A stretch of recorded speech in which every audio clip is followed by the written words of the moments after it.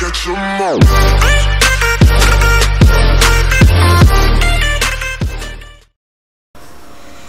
Hello viewers welcome to easy learning আশা করি সবাই ভালো আছেন। আমরা ইতিমধ্যে শব্দ শাখার উপরে ক্লাস নিয়েছিলাম ছয়টি। আজকে আমাদের এই ক্লাসটি হবে সাত number. That means how to make word part seven so viewers let's start আমরা স্ক্রিনে দেখতে পাচ্ছি যে মূল শব্দটি হচ্ছে কিল। এইভাবে আপনাদেরকে মোট পনেরোটি শব্দ শেখাবো এবং এই পনেরোটি শব্দ থেকে আমরা প্রতিটি পার্ট থেকে তিনটা করা ওয়ার্ড তৈরি করব। দ্যাট মিন্স পনেরোটা থেকে আমরা তিন পনেরো পঁয়তাল্লিশটি শব্দ তৈরি করব খুব ইজিলি যেমন আমরা এখানে দেখতে পাচ্ছি কিল হচ্ছে হত্যা করা, আর যখন কিলের পিছনে একটা জয় যুক্ত করব, হুম, তখন সেই শব্দটা দাঁড়াবে, কিল জয়, যেটার অর্থ হবে অন্যের আনন্দ নষ্টকারী। যিনি অন্যের আনন্দ নষ্ট করে ওনাকে বলা হয় কিল জয়। তাছাড়া আমরা জয় একটা শব্দ জানি, জয় হচ্ছে আনন্দ। তাহলে ভিউয়ার্স আপনি তিনটা শব্দ জানতে পারলেন এখান থেকে। একটা হচ্ছে কিল, হত্যা করা আর একটা হচ্ছে কিল, জয়। এ হলো দুটো, আরেকটি হচ্ছে জয়।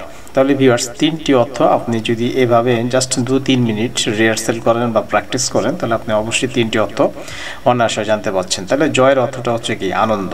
তাহলে ভিউয়ার্স আশা করি বিষয়টি বুঝতে পেরেছেন যে কিল হত্যা করা, কিল জয় হচ্ছে অন্যের আনন্দ, নষ্টকারীকে বলে কিল জয় আর জয় হচ্ছে আনন্দ। তাহলে ভিউয়ার্স আমরা দুই নাম্বার শব্দটি দেখি। এখানে আমরা যে শব্দটি দেখতে পাচ্ছি, সেটা হচ্ছে টার টার মানে আলকাতরা। হুম, আমরা যে চালে বা নৌকায় জাল কাতরা দেওয়া হয়, সেটা হচ্ছে টার। আর দুটা টার যখন আমরা মিলাবো, টাটার টার টার তখন হবে এটা দাঁতের পাথুরি। দাঁতের পাথুরিকে বলা হয়? টাটার। তারপরে আমরা তিন নম্বরে যে শব্দটা দেখতে পাচ্ছি, এখানে কিন্তু তিনটি অর্থের সমন্বয় আছে। একটি হচ্ছে ইন, যেটাকে বলে প্রাপোজিশন যেটার বাংলা অর্থ হচ্ছে মধ্যে। তারপরে হ্যাবিট অভ্যাস, তারপরে হচ্ছে অ্যান্ড পিঁপড়ে। তাহলে ভিউয়ার্স তিনটি অর্থ এখানে আমরা পাচ্ছি। একটা মধ্যে, একটা অভ্যাস, একটা পিঁপড়ে। আর এই তিনটি শব্দ যখন আমরা একত্রে করব, সেটা হচ্ছে ইনহ্যাবিট্যান্ট মানে অর্থ হচ্ছে অধিবাসী। তাহলে ভিউয়ার্স আমরা ইজিলি খুব ইজিলি আমরা তিনটি অর্থর সমন্বয় ঘটিয়ে একটি অর্থ তৈরি করতে পারছি। তাহলে ভিউয়ার্স আমরা এভাবে কিন্তু শব্দ মুখস্থ করতে পারি বা মনে রাখার জন্য কৌশলগুলো প্রয়োগ করতে পারি। তাহলে ভিউয়ার্স আমরা এখন নেক্সট পার্ট নিয়ে আলোচনা করব।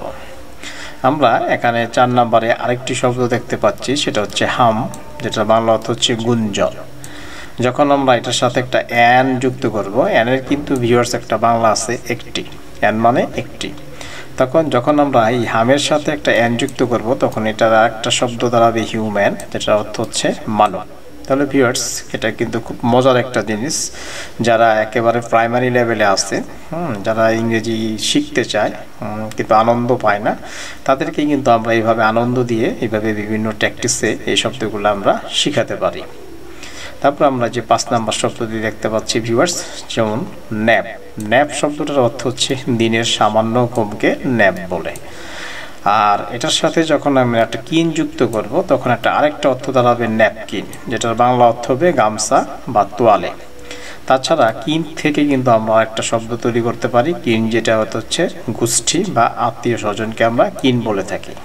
তাহলে ভিউয়ার্স আপনি খুব ইজিলি তিনটি ওয়ার্ড মনে রাখতে পারবেন। একটা হচ্ছে ন্যাপ, ন্যাপের সাথে কিন যুক্ত করবেন, তখন হবে ন্যাপকিন, দুইটা আর একটা কিন, তিনটা। তাহলে তিনটা ওয়ার্ড আপনি একটা গুচ্ছ থেকে শিখতে পারলেন। আমরা ছয় নম্বরে একটি শব্দ দেখব, সেটা হচ্ছে ওয়ান্ডা। আর উচ্চারণ করব না, ওয়ান্ডা। উদ্দেশ্যহীনভাবে ঘোরায় ফেরাকে বলে ওয়ান্ডা। বব করে বলতে পারি আমরা। তারপর এটার সাথে যখন আমরা লাস্ট যুক্ত করব এল ইউএসটি এই লাস্ট কিন্তু কামনা, বাসনা। এটার সাথে যখন ওয়ান্ডার লাস্ট যুক্ত করব, তখন আরেকটি শব্দ হবে ওয়ান্ডার লাস্ট যেটার অর্থ হচ্ছে ভ্রমণের ব্যাপক আগ্রহ। ভ্রমণের ব্যাপক যার আগ্রহ থাকে, সে তাকে আমরা বলতে পারি ওয়ান্ডার লাস্ট তাহলে ভিউয়ার্স আমরা এখানে দেখতে পাচ্ছি তিনটি শব্দগুচ্ছ আছে। তিনটি থেকে কিন্তু আমরা মোট নয়টি শব্দ শিখতে পারলাম। এইভাবে শব্দ শিখতে পারলে আপনি খুব ইজিলি আপনার শব্দের ভাণ্ডারকে খুব দ্রুত বাড়াতে পারবেন। আর শব্দ ভাণ্ডার যত বাড়বে, তত আপনি ইংরেজিতে এক্সপার্ট হতে পারবেন। তাহলে ভিউয়ার্স আমরা নেক্সট পার্ট নিয়ে আলোচনা করি এখন। আমরা এখানে আরেকটি শব্দ দেখতে পাচ্ছি ওয়ান্ট যেটা বাংলা অর্থ হচ্ছে চাওয়া। যখন এটার সাথে একটা ওয়া অন যুক্ত করব, যেটার প্রেপোজিশন হচ্ছে উপরে। এর একটা প্রেপোজিশন এটা একটা অর্থ আছে উপরে। তাহলে ওয়ান টন যখন শব্দটা একসাথে হবে, সেটার অর্থ হবে উচ্ছৃঙ্খল। তাহলে আমরা ওয়ান টন থেকে শব্দটা মনে রাখতে পারব ওয়ান্ট আর অন এই দুটো জিনিস যুক্ত করে ওয়ান টন পেয়েছি, তারপরে অন একটা শব্দ পেয়েছি। তারপরে ভিউয়ার্স আমরা আট নম্বরে যে শব্দটি দেখতে পাচ্ছি, সেটা হচ্ছে ওয়ান ফ্যাকাশে।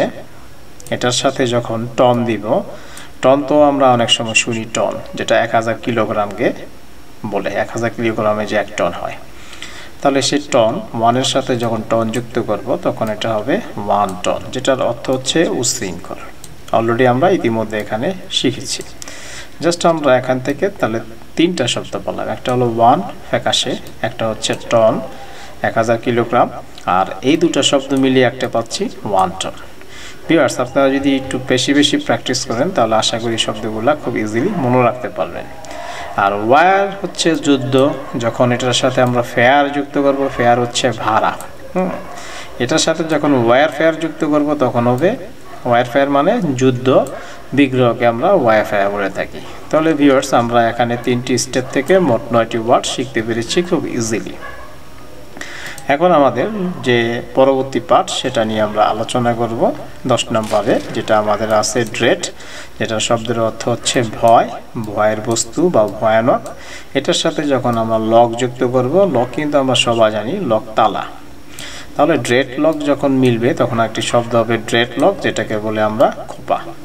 মেয়েদের যে চুলের খোপা থাকে, সেটা হচ্ছে খোপা। এটাকে বলে ড্রেড লক তারপরে এগারো নম্বরে যে শব্দটি আমরা শিখতে পাচ্ছি, সেটা হচ্ছে বন্ড বন্ধন। আর এটার সাথে যখন ম্যান যুক্ত করব ম্যান তো মানুষ, তাই না? তাহলে বন্ড ম্যান একসাথে যখন করব, তখন হবে বন্ড ম্যান এটা অর্থ হবে কৃত দাস তাহলে ভিউয়ার্স আমরা তিনটি ওয়ার্ড দেখলাম, একটা বন্ড একটা ম্যান আর এ দুটো মিলে একটি ওয়ার্ড হলো বন্ড ম্যান এতে করে আমাদের খুব ইজিলি ওয়ার্ডগুলো শব্দের ভাণ্ডারগুলো বেড়ে যাচ্ছে। যারা নতুন, তাদের জন্য বেশ উপকার। তারপরে আমরা বারো নম্বরে দেখতে পাচ্ছি বন্ড বন্ধন। যখন এটার সাথে এইজ যুক্ত করব এইজ মানে বয়স। তখন এটার সাথে যুক্ত হবে বন্ডেজ যার অর্থ হবে দাসত্ব বা গোলামি। তাহলে ভিউয়ার্স আমরা মোট বারোটি সেকশনে চলে আসলাম। তাহলে তিন দিয়ে গুণ করলে দ্যাট মিনস ছত্রিশটি ওয়ার্ড আমরা ইজিলি শিখতে পারলাম। এখন আমরা পরের পার্ট নিয়ে লাস্ট পার্ট এটা আমাদের আলোচনা করব। ভিউয়ার্স আমরা তেরো নম্বর একটি শব্দ দেখতে পাচ্ছি, সেটা হচ্ছে বক, জলাভূমি। এটার সাথে যখন আমরা আজ দিব আজ তো একটা বাংলা অর্থ হচ্ছে আমাদিগকে তখন আমরা এই দুটো শব্দ মিলিয়ে তৈরি করলাম বউ গাছ, যার অর্থ হচ্ছে মিথ্যা বা বাজে, বউ গাছ।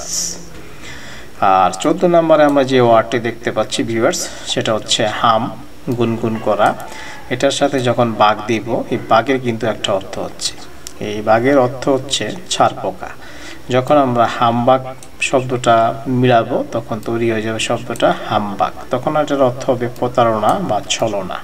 তাহলে ভিউয়ার্স কি দেখলেন? এখান থেকে কিন্তু তিনটি ওয়ার্ড আমরা মনে রাখতে পারছি। হাম গুনগুন করা, বাঘ ছাড় পোকা। আর হাম বাঘ যখন মিলবে, তখন এটার অর্থ হবে প্রতারণা বা ছলনা। ভিউয়ার্স আমরা পনেরো নম্বরে লাস্ট ওয়ার্ড দেখতে পাচ্ছি, পার। র যদি বাদ দিই, পা। যার বাংলা অর্থ হচ্ছে সমতা, সমান।